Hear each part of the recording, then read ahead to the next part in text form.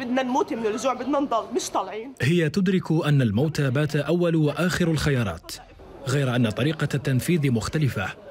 ترفض هذه المرأة مغادرة منزلها في غزة متحدثة بحرقة عن اللحظات المؤلمة. رحنا على مدرسة الوكالة ورانا حكوا المدرسة آمنة خبطوا المدرسة واستشهدوا الناس.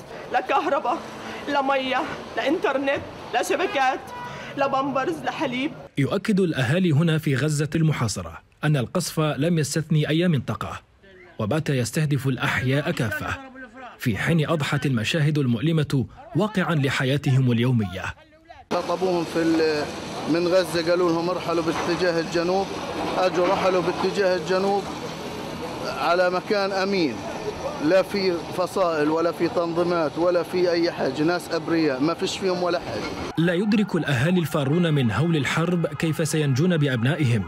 ولا يعي الأطفال الهاربون معهم ما يدور حولهم إلا أن الحقائق على الأرض تترجم أن المدنيين باتوا أكثر المستهدفين في هذه الحرب القاسية.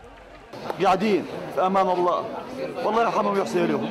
حسبي الله ونعم الوكيل. لا هدنة بين الإسرائيليين وحماس حتى ساعة إعداد هذا التقرير ولا توقيتات محددة لموعد انتهاء الموت هنا. وها هم المحاصرون في غزة بانتظار من ينتصر للإنسانية.